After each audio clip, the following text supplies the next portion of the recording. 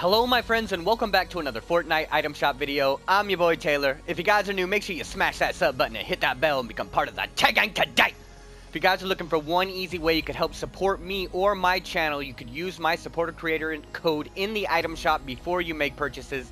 Thank you for everybody that does this, man. You guys have no idea what that does for me, man. Thank you so much. So the fork knife is finally in the shop, man. We've been seeing this for a while, guys.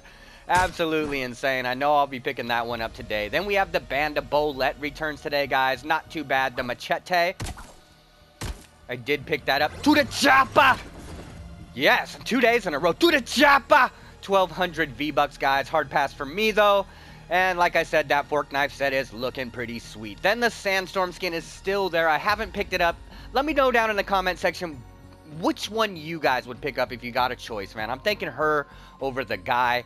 This guy is nice, though. I do like the black and gold combo. Then we have the emblem wrap that was in there yesterday. Still can't make up my mind. The red is throwing me off. What am I missing there? And then the chrono. My wife did buy this, and she is enjoying it. Says it is well worth the money. Then we have the Firebreaker returns, 1,200 V-Bucks. The backstroke. Ooh. Uh. Yeah.